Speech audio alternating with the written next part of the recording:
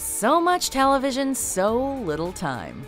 Welcome to WatchMojo.com, and today we're counting down our picks for the top three series to binge this weekend, May 11th, 12th, and 13th, 2018. What the hell are you doing? What are you, what are you doing? Open the door! Open the door! For this list, we're helping you plan your weekend by looking at the most bingeable new content that's popping up on streaming services.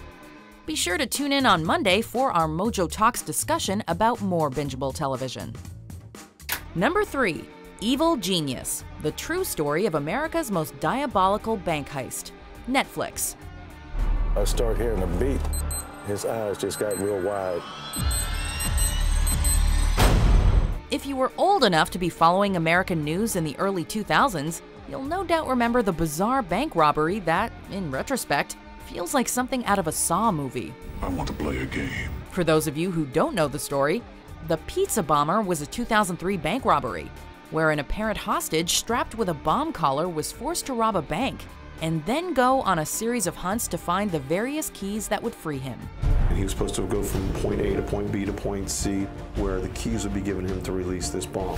Netflix's latest crime docuseries is the definitive coverage of the Pizza Bomber bank robbery, and it goes into detail about the who and the why, not just the what. Anyone interested in twisted crime drama will easily blow through the entire series.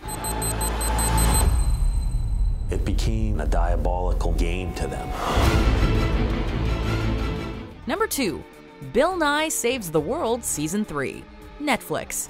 If you would kindly direct your attention to the other obscenely large television monitor, I've prepared a presentation.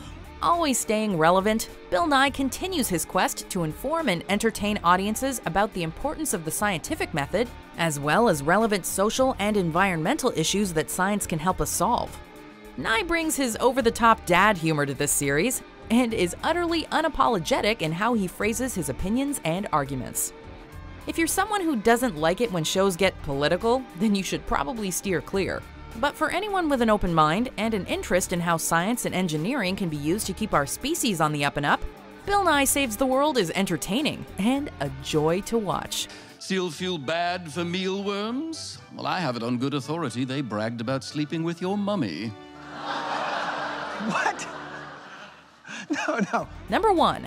Cobra Kai, YouTube Red. If you want to get technical, I kicked his face. I'm just busting your chops. It was an illegal kick. Oh, illegal? Really? Come on, what about that elbow to my knee? Okay, so here's one way out of left field, but trust us, it is awesome. A continuation of the original 1984 film The Karate Kid. Cobra Kai takes place 34 years after the movie's conclusion and follows none other than the movie's antagonist, Johnny Lawrence. When I watch The Karate Kid, I root for the Karate Kid, Johnny Lawrence from the Cobra Kai Dojo. Johnny never recovered from his loss at the 1984 All Valley Karate Tournament, and we follow him at his lowest point, when he finally decides to get things back on track by reopening the Cobra Kai Karate Dojo. Hey guys, check out this rad internet site. www com all lowercase. The premise sounds a little silly on paper, but trust us, this show is a fascinating take on a typical antihero. And with lead actor William Zabka and the original Karate Kid actor Ralph Macchio reprising their roles, this show goes to some strange, yet wonderful places.